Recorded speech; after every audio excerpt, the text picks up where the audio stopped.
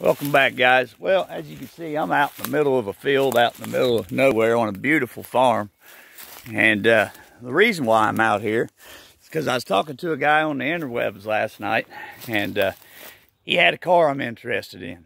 Oh, we're going to be able to work a deal. He already had the car sold to another guy coming from Detroit. And I said, look, I'll give you more money for it. Let me please come out and look at it. And he said, all right. And uh, here we are. Let me show you. Oh. Yeah, she's seen better days, but she looks solid as far as I can tell. Oh, I had to get her pulled out to look underneath her a little better, but what I see so far, nothing I can't manage. Oh, who knows, you might pull this thing out of here, get a good cleanup, and it surprise you, you know? Oh, what's underneath up there? I see some pipes. Are they just laying there? Or they're buried oh, in the mud. They cut that catalytic converter out and just. Oh, left it. Yeah, that was a good one, I bet. Might have it around. They ain't, yeah, it ain't too bad. They just think, I think. Oh, it's a good thing too, because uh, my air pump, I realized only needs a cord. I thought it's never gonna fucking reach with a cord. Oh, we're going to try to chop down some of these trees and stuff and uh, pull this baby out of here and get it where we can get a record to it.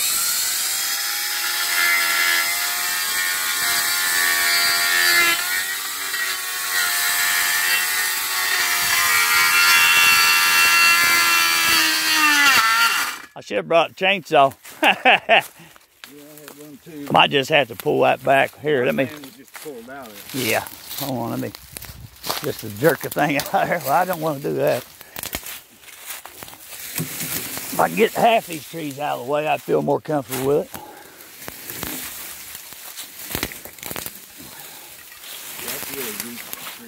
Yeah, we're gonna be able to pull that apart. It's no, it's no hickory.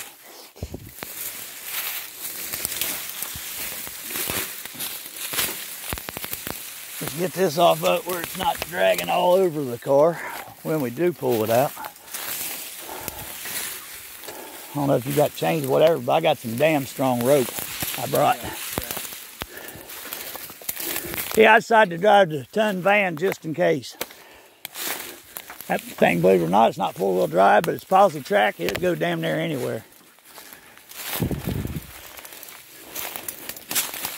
Oh, it looks like soap. Yeah, but it ain't. It won't open. Huh. Well, we'll have to figure out that out one.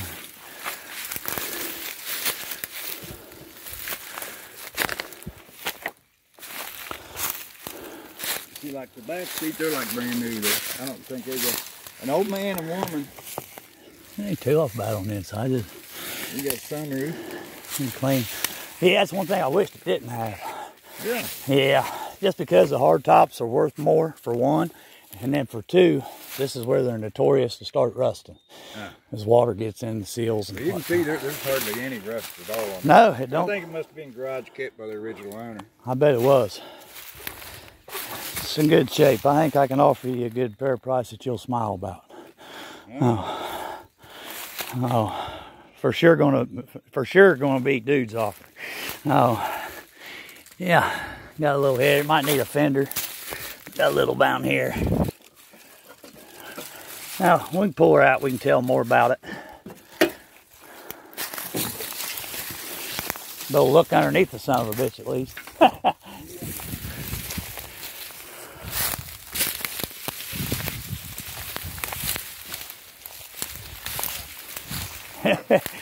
Don't kill yourself.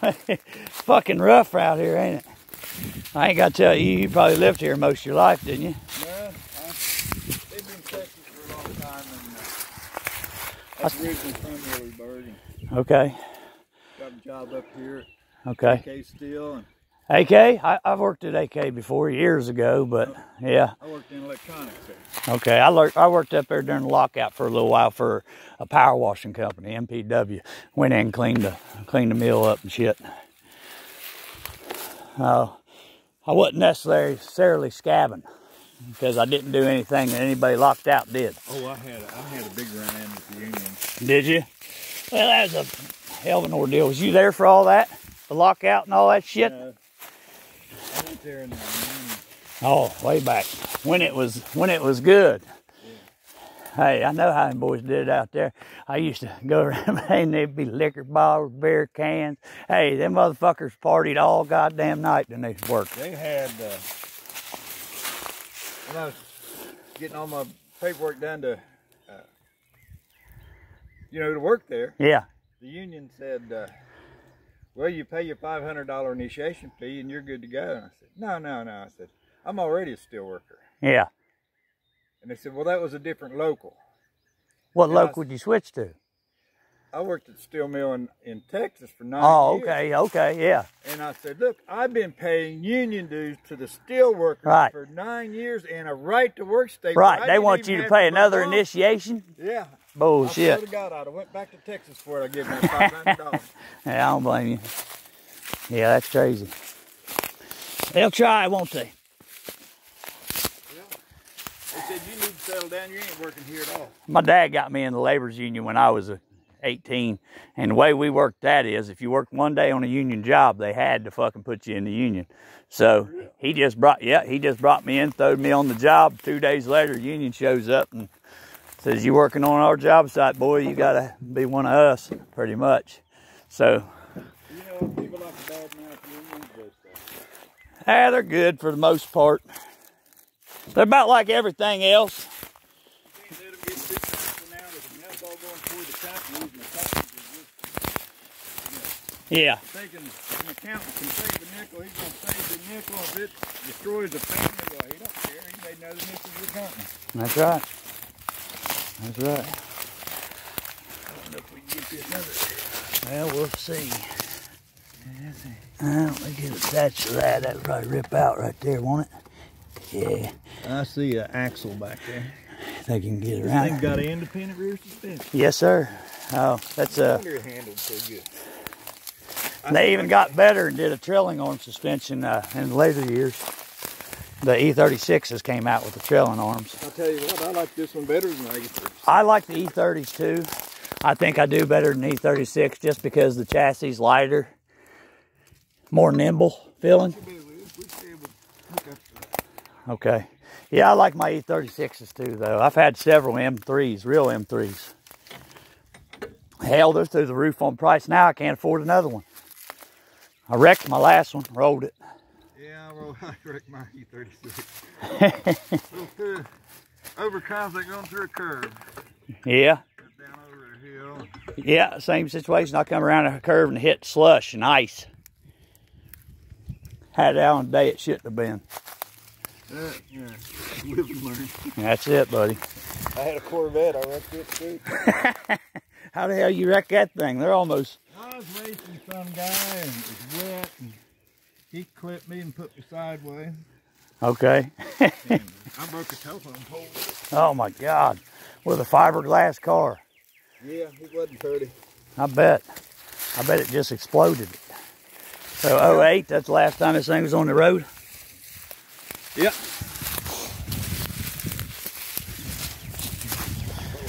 What's she ready? Yeah. Mileage was wrong too. I thought it was right at 100, but it's right at 200. On this one? Okay. But like I say, the guy that talked to me, he was the BMW dealership's uh, mechanic. Okay. He said the old man that had it brought it in for every, you know, Yeah. thing it needed done. I think it's good enough it can be brought back for sure. Oh, I- like I say, I was hoping my son would be a motorhead like me, but happen. You know, I ain't got a kid one that's interested in fucking the shit neither. I'm a nut about it. I got a disease. I buy up everything I see that I don't even fucking need, like this.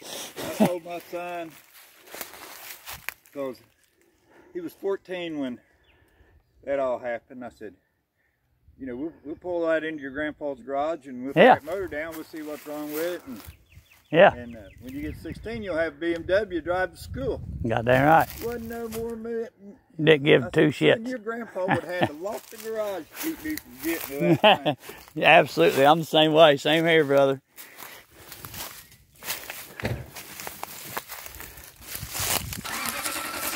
set this down right here a minute. Uh, or maybe up here. I ain't got it coming yet, but I will. Uh, I wanted to wait till I got out here at least and see the situation, see if we had to get it pulled out or whatever. I think I got actually a little bit of service out here though. I might be able to call from here. If not, I'll go to the end of the road and call them. Up there at the top of the hill. Oh, hopefully they'll fucking use a local tow service. You know any local tow service that use AAA? All right. What I like to do is just call them first Real good guys. and let them call AAA, you know?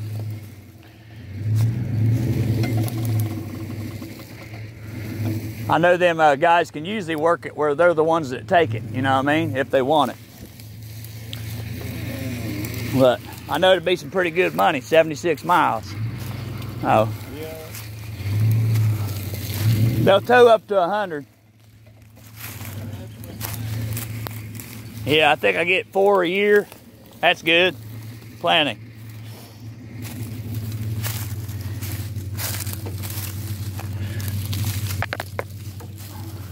Where do you put it? Around your ball? There's a hook in. I usually wrap it around the Oh, down there. receiver and then just finish up. I don't, I won't let you do it. It's your truck. I don't want to fuck nothing up. You wouldn't believe what these things cost. Oh, I know. I know. It's Quarter million miles on it. I had to pay five thousand dollars for this thing. Really? How, hey, how many miles you think it's got on that van? And I'm going to tell you the secret before you guess. It's a retired Coca-Cola van. Oh, three hundred. 575,000 miles. I knew a guy had an old Chevy that uh, he actually wore the intake manifold out. well, that one, I, I don't know if it's original motor. You know what I mean? I'm assuming not. I know Coca-Cola's a billion dollar company and they probably took care of it. Anything is wrong with it, you know? Fleet. You know it. And if they went down, they put them right back up.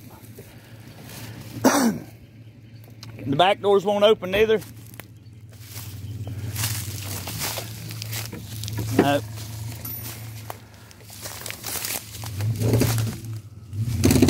Whoa! Yep, we broke it. Yeah, it fucking ripped that strap right in half. That's a fucking crane strap too. Must just been a little dried out. Cause them things don't break very easy. well, that one runs out. I got some rope too. I'm a high-rise window cleaner by trade for damn near eight years. Oh, I got all those ropes. And they're like, a, they work like a yanking rope because they got a little spring to them, you know. Well, I was yanking on that thing, get it out the other day. Was you? Yeah. Hopefully this one ain't locked tires up. Hopefully the tires aren't totally locked. Hopefully she's a roller. yeah, fucking shit. Say, it, it looks like it's open. And I couldn't, I, I brought all the keys that I thought might fit it, Yeah. but I tell you what, that, uh, One of them. well, I don't, I don't think, I tried them all, but they don't work. None of them. hmm I think one of them, that I left the key in that Jeep. I should have brought some of my Beamer keys. Sometimes they're universal. In the Yep. middle of moving, you can't keep track of nothing.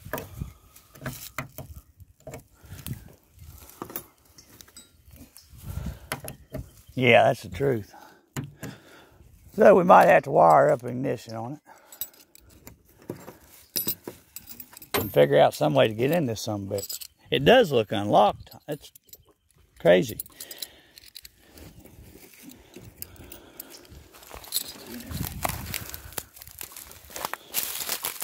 Oh, let me grab this briar. It's fucking trying to get your head. It's real funny how I ended up this play. Yeah. Before I moved to Texas, my fishing buddy, I mean, our dads fished together. Me and him fished together a whole lot. All right. He lived up top of the hill. And it was going to be our last fishing before I went to Texas. And he said, well, come before daylight tomorrow. We'll take a lantern and we can walk around the ridge and we can drop in on this pond and they can't see it from the house. On this old place. On this place. So there's a pond up there. Yeah, we Okay. snuck in to And we Fish. got like 20 some bass that day. No shit. It loaded them. Nobody been there in years. Then uh, uh, when I come back from Texas, my buddy was renting this house. Well, then they decided to, Sell it. Land it. contract or something. Well, Or just straight up. to log it, Okay. and then uh, wanted to sell it after you got done logging it. The hell, it don't even look like it's been logged a lot. Or they logged farther back. Or- That was, he logged it in the late 80s. Oh, so it's gonna grow back. Yeah. How many acres is here? 22. Oh man. I paid uh, $35,000 system. Oh my God, dude. But that was in 1989. Yeah, that barely gets you an acre these days. That's crazy though. You know, the property values went up so nuts. I mean, I don't know how this area is. It's a little lower, but I mean, it's still good. Well, all the difference in the world vacant land is whether it's tillable or not. Yeah, yeah. The price that you mentioned, that, that Oh, that's that's no. That's with uh, being able to hook up a house to it and and have uh, flat ground with cleared timber. Yeah, for twenty five to thirty five k an acre. But man, that's what they're fucking asking. Something like this out here would still probably be fifteen, right? no, No, not hillside. not all because it's hillside. goes about 1500 2000 That's it, really? Okay. What about something like this? It's got a little flat to it. I mean, would they charge you more? I mean, I would think at least thirty thousand for just this little plot down here with the house on it. In the appraisal world, it's called having uh, He's a realtor, land- so he How knows. much utility the land has. Okay, Flat land has a lot more utility than absolutely. So, do they count uh, lumber at all as valuable, or that's Or- a separate uh, appraisal. okay? I'm gonna put these keys in here on your seat. Right now. Where it ain't gonna do something drastic. Actually, I probably better put them in a cubby hole, hadn't I? You're getting ready to pull on this. You'll be cussing me when you can't find none of these sons of bitches. There, I put them in your uh, cup holder.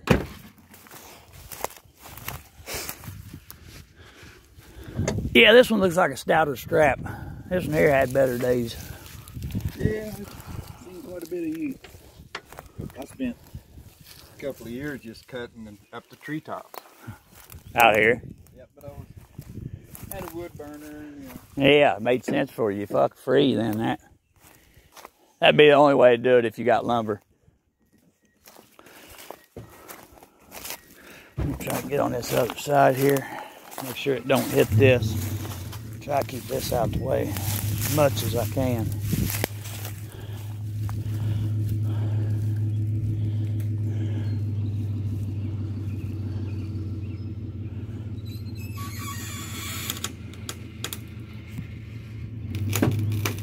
Oh. Popping, cracking.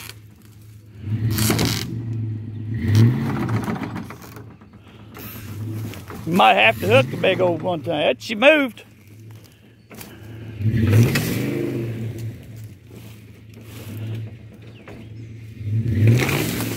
There she goes.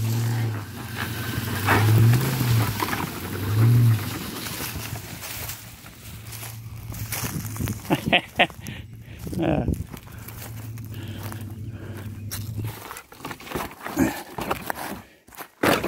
there. My God, we ripped the bumper off, but we didn't break it. You know, we folded that son of bitch all the way over itself and it didn't break. That's why I love BMW. They're made good. I'll tell you, this one's made a lot better than that E36. You think so? Oh yeah. This will be the first E30 I've ever owned. I've drove a couple, but it need a new grill, but we can find that shit. No rust on this side, little surface rust. Yeah, I seen it on the other side as well. Right there by the door and the I fender. Tires pump up. That one looks like it's got air in. Yeah, not too bad, is it? On rocker, but not bad. Trying to get some light on the subject here.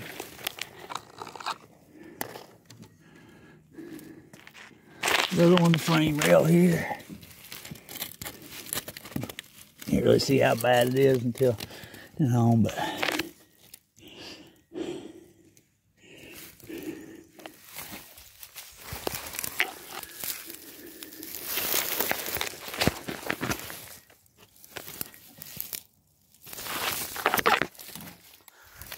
It's not as good as I want, but it's better than I expected. That's a good thing. Now, These guys, both trucks have they should. I don't know if they will or not, but we can sure tell them maybe. The floorboards don't look all right as far as I can see. No, I I, mean- believe, I believe it was garage stuff in it the other day. Oh, I mean, the worst it's had is being out here for the last three, you know, four years, whatever, since 08, 9, 10, 11, 12, 14 years. 14 years been sitting. Oh, My heart sick on that let loose. it probably wasn't sitting here the whole time, though. No, it was sitting on the other side of that Jeep. Okay.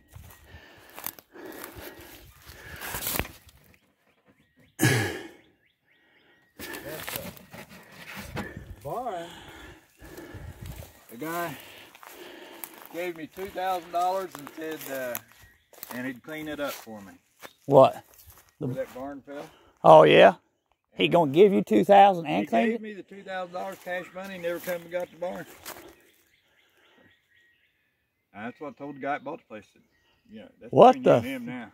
Fuck. Well, technically, I mean, dude's ass out. Huh? Dude's ass out. I mean, Well, it's been. Uh, I can't believe he paid you. I mean, I figured he would just done it for scrap or whatever, you know what I mean? But, I mean, but it can't be that much there, is there? oh yeah, that was a forty by sixty barn. Oh, okay, so is the 10 still there? No, he did take the tent. He did come get the 10. That's all he wanted. Well, Junk was up. he, he gave me this big story about I know all these people that do art arts and craft stuff and that tin's in real big demand. I can get big dollar for it. Scrap my tin roof and come back Yep. and gave me half the scrap price. Yep. Oh, I was pissed. That's exactly what happened. Yep. Yep. Oh, can we look at the old Chevelle real quick? Oh, I know it's a parts car or used for parts, but we got to know this. This is a true barn find. Yeah. Could have been 30, 1989. 1989. Wow.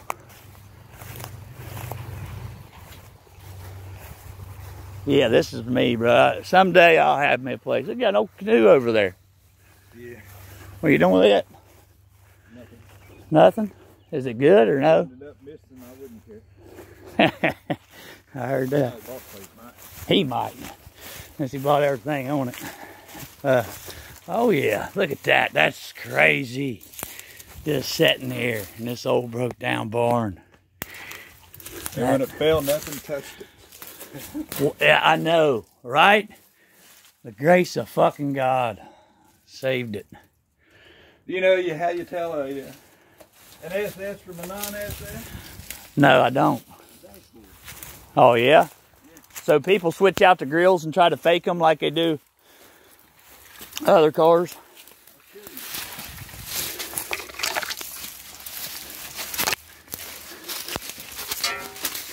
Hey, we got Jack here. Does that work? No. No.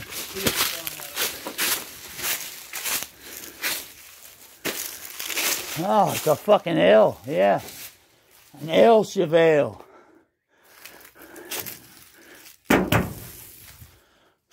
My I'll be other one is better. Yeah. But this one has good doors, yeah. good tailgate, good hood, Yeah. good fenders. Well, the good thing about this car is it was a Texas car, so the rust is just minimal on it. Fucking surface shit mainly. This uh, the SS's the gauge cluster Let me see. is round, Okay, yeah. and the non S S ones are rectangular. Really. Yeah, where the Never cluster that. gauge is. Okay. Gauge cluster. And now what years is that? Uh, all of them, think. All of them, huh? This one's 72. That's pretty freaking neat. Oh, gas jug, Jack. Get out here before it falls in on us rest away. Don't kick no boards. Yeah, you, We got it turned in from one A-frame to two. A frame to a B frame. yeah, or an M. It's almost an M now. We look at it. Yeah, double A.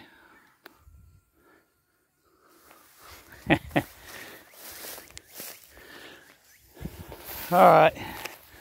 Oh, I guess we can uh, talk some turkey on this thing, and I can see if I can get a hold of AAA real quick. And we'll see you guys next time.